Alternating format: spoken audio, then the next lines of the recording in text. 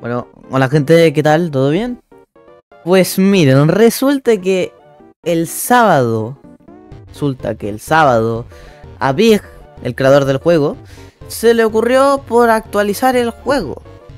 Creo que dio un pequeño aviso en su servidor de Discord y prácticamente este juego está en el olvido. Una actualización de hace Navidad, vamos a decir. Y nos quedamos con la entrada del Hadron Enforcer, si no me equivoco. O el ataúd creo que era. Pero bueno. Ahora estamos en la Summer Part, eh, o sea, la actualización de verano parte 1. Donde añadieron más cosas para, bueno, optimizar el juego y mejorarlo un poco en temas de estética. No metieron ninguna arma nueva, pero eh, como es parte 1, tenemos parte 2 donde quizá añadan otras cosas. Pero sí, lo que añadieron aquí fue, fue las skins que bueno, es digamos que lo más interesante. Pero también antes de entrar, bueno, a lo más nuevo, que fueron las skins y un nuevo modo, hicieron pequeños cambios como que el guante al hacer el chasquido, antes te quitaba vida y podías pasar de vida de 150.000 a 30.000 básicamente con unos 5 chasquidos. Y ahora no, ahora no. Solo el guante se queda inutilizado por creo que un minuto o dos minutos. Y ahora el chasquido afecta de todos los NPCs totales, o sea, el de la gema del poder, no, el de la gema del poder no, porque es boss. Bueno, todos estos NPCs, los NPCs 2.0, 3.0 y los Servant of Celestial 1 y 2. Em, a esos le afecta el chasquido, se va a eliminar la mitad de todos los NPCs existentes. Si hay 100, se eliminan 50. Así básicamente le da lo mismo si son Servandom Celestial, si son estos NPCs normales, si son 2.0, 3.0, le da absolutamente lo mismo, ya lo he comprobado. Y bueno, em, cambios... Vamos a decir... Bueno, cambios varios. Primero que todo, bueno, mejorar la interfaz en móvil, que si alguien se mete en móvil a jugar este juego, pues el guantelete y todo eso le va a salir mucho mejor que antes. Eh, todas las habilidades le van a salir mucho mejor. Y bueno, ahora primero tenemos inventario, donde va a aparecer, pues miren todo el Fragment, aquí, bueno, algo que conseguí. Las torres para, bueno, para comprarlo no necesariamente desde, eh, pues bueno, desde acá, del inicio, sino desde cualquier parte. Y los modos.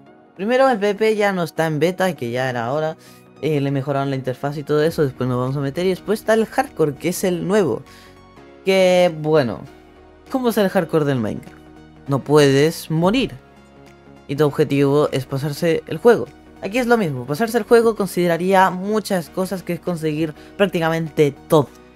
Es como empezar desde cero, porque literalmente empiezas desde cero, pero se te guardan gimpas y otras cosas. Y en PvP, miren, si ahora nos metemos, aquí estamos con Leo.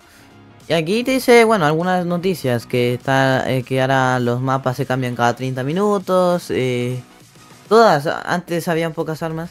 Todas las armas que están en el juego principal están ahora en PvP.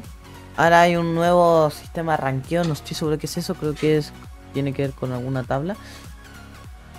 Y mm, bueno, reconstruyeron algunas cosas. Y ahora hay tres. pasaron de tres ítems que puedes tener a cuatro ítems.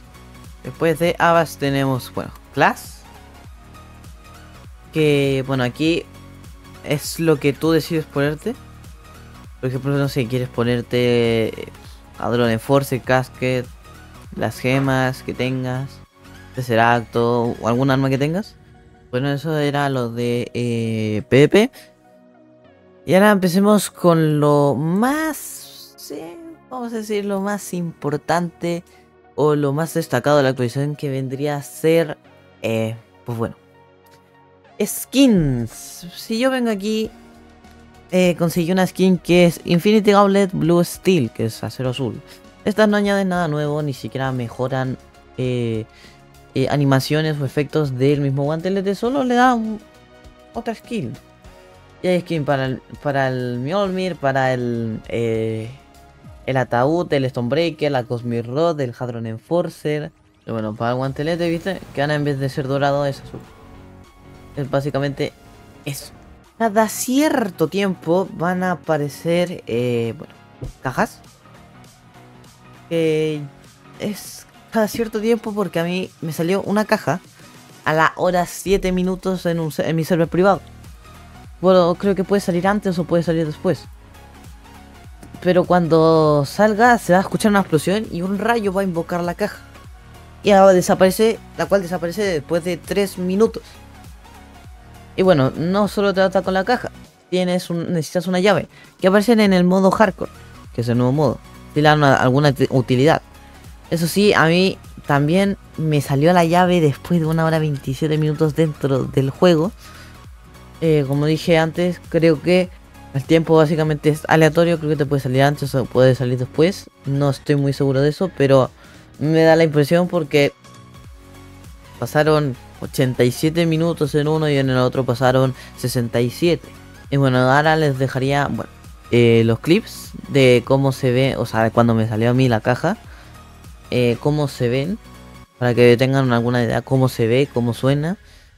Y bueno, eso sería.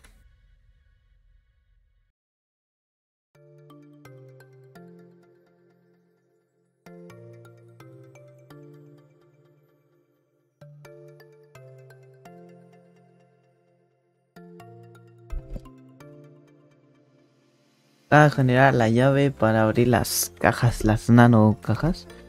Ha pasado exactamente una hora 27 desde que estoy en el server en modo hardcore. Y se escucha una explosión y tira un rayo que invoca, bueno, la llave y desaparece después de 3 minutos. Aquí está. La... Damos clic, la tomamos.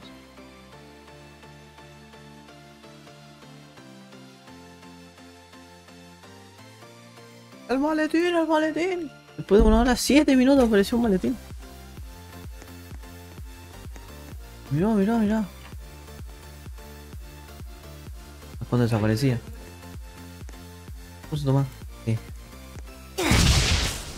¿Y a dónde se guardó? Supongo que en inventario, ¿no? Bien, nano case. A ver, open. Listo. La llave que se consigue en hardcore. En un momento más lo voy a hacer. Y mira, aquí están todas. Ahora, bueno, ahora experimenté exactamente cuando aparecen las, las cajas y las llaves. Y es con una explosión y un rayo las va a lanzar directamente. Un poco raro, sí, pero tienes que estar atento a ese sonido, a un sonido de una explosión. Directamente una explosión.